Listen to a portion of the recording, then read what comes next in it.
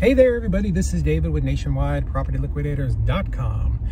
Um, I wanted to uh, just jump on, make a real fast video today. This will be, I think, a pretty short one, um, and talk about the least sexy thing in all of real estate, and that is having good paperwork. So, I think it's one of the most underrated things um, that investors and landlords and and you know anybody involved in, in real estate do. And that's making sure that you have good paperwork and that when you're having a transaction between two people that you both clearly understand what is happening. Um, i used to back in the days when i was a salesman i had this uh, admin assistant and he was a pretty funny guy and he used to always say i'm saying wednesday but you're here on friday.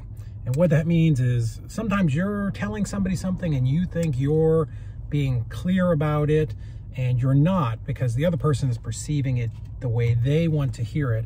So, you know, you're saying you're going to get something there by Friday and they're saying they're hearing, yeah, I know I need it by Wednesday and you'll you'll do it by Wednesday. So, um, have good paperwork. Make sure um, everything that everybody has agreed to is in the contract or in the lease. Um, so I'm selling you a property you know, I'm selling you the, this property. We're going to guarantee clear title, proration of taxes.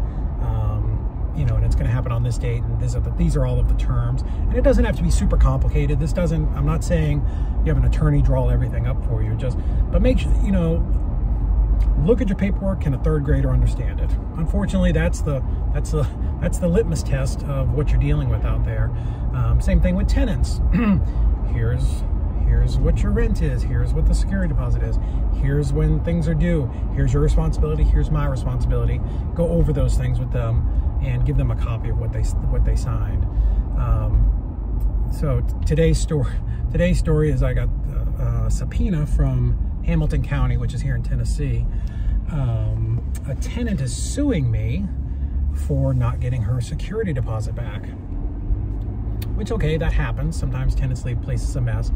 The thing on this property is I sold this property on December 30th of last year to another investor and he is the owner and he's the one that didn't get back her deposit. And I did talk to him today and it's clearly because she had a dog and left a mess. But uh, she's suing me because I was the old owner. Um, but I have good paperwork. We did our closing at a title company. We have an assignment of leases and uh, you know her lease was assigned to the new person with the deposit and she's basically suing the wrong person but Unfortunately, I called the county and I still have to go to court that day and I guess stand there and say that you're suing the wrong person. But, but anyways, moral of the story, good paperwork. So uh, that will keep you out of a lot of trouble uh, in your real estate career. So I uh, hope you're all having a great day.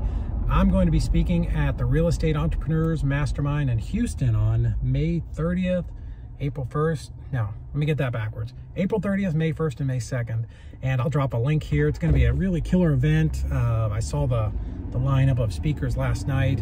Um, if, if, if there's a way you can get there, this is the event that you want to you want to attend. I know we've all had COVID and been stuck at home.